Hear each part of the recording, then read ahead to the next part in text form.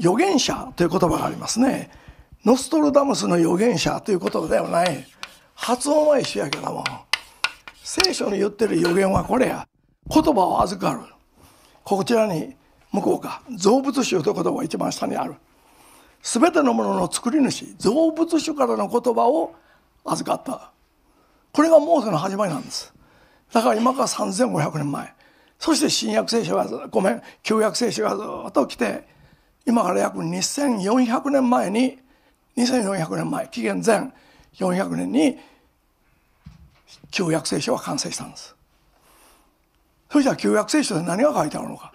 今から3500年前から書かれて今から2400年前に完成した。救世主について書いてある。やがてこの世界を救うためにやってくる。政治経済社会そうじゃない。聖書は人間をどう言ってますか？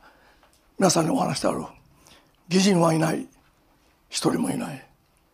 人間は悪だと言ってるんです。初めから。造物主に逆らい自分勝手に生きていく。ほっといてくれっていう、まあ、いわば報道息子みたいなもんや。それが人間だとはっきり言ってるわけですよ。そしてその人間が次進んでいったら人間の歴史をたどっていけば何になるか第三次世界大戦です。人間とは悪だ。造物主から離れて造物主に背を向けた。だから進んでいった歴史は最後の戦争になる。僕今旧約聖書で言った。新約聖書はいつ書かれたのか。紀元後です。紀元後。一番新しい部分にしても紀元後60年。だから今から1940年ぐらい前になりますか。書かれてそして紀元後100年。新約聖書は非常に短い時間でした。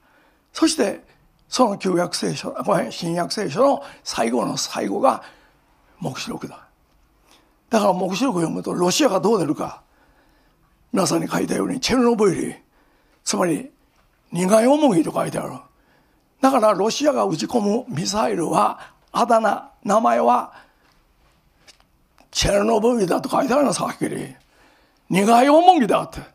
だからロシア先僕は復讐と言いましたが苦い思いという名前をつけて打ち込んでくる。で皆さんこれどう思われますか？苦い思い打ち込んでくる。だからロシアはあのチェルノブイリ原発事故はつまりそれによってそれによってソ連という国家が滅びるわけですがあれは意図的にやられたと捉えています。全部私たちは2011年3月11日。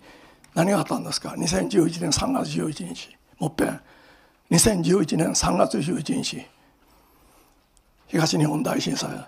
あれは皆さん自然に起きたと思ってるの？え？福島の原発事故は今も放射能吹き出してる。本当ですよ。もうこれはもう日本最大の知力なんです。今回の石川県の地震は何か。今度は逆だ。日本を崩壊させる勢力が311であるならば日本人に最後の時代だから目を覚ませって言ったんです。これが石川あの石川県の地震です。だから1日に起きた。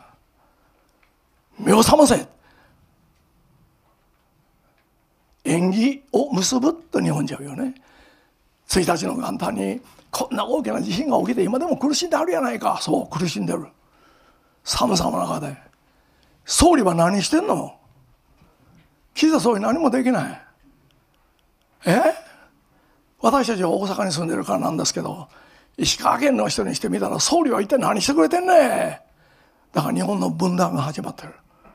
だからアメリカが分断と分裂と言いましたが日本はすごい時代です。だから皆さんがマスコミ見て新聞のニュースを見てそこに何が書いてあるか心が暗くなる。さっき言った言葉かつての日本ではない。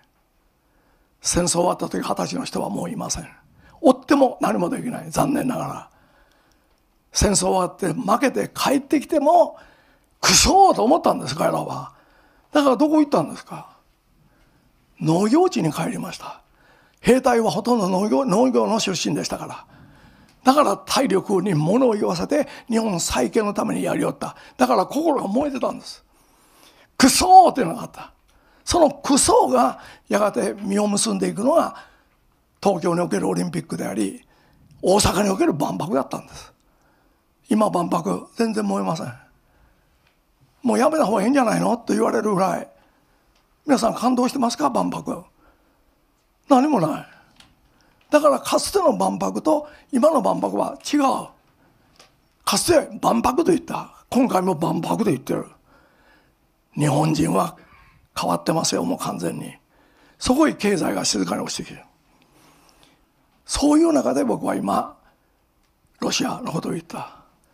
プラスして中国はどうですか？台湾問題は有事。日本にとって有事問題です。もう台湾は中国は取ったようなもんです。次は日本なんです。だから彼らはロシアと中国は中東で事を起こす場合に極東でも事を起こすはずです。陽動作戦という。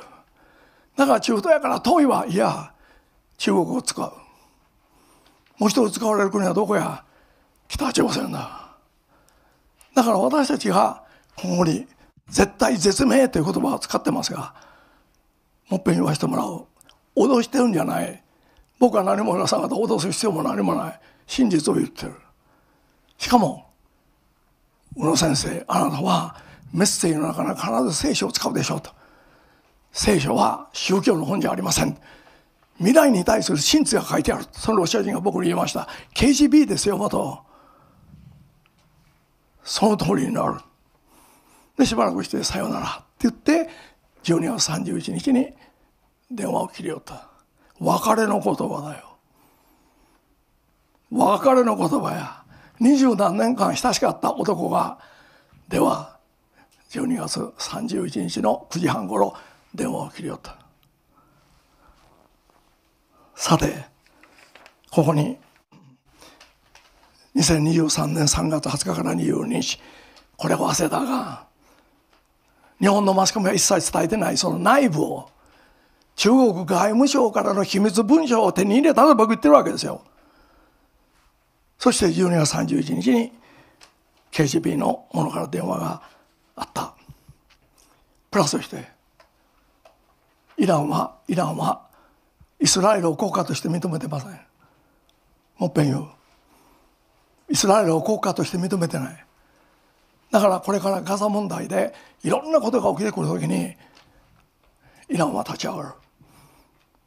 イランの背後にだからロシアがおるわけ。だから僕は皆さん方にこの絵の句を読んでもらってますがこの最新の絵の句の中においても書いてる。イスラエル人口の20%は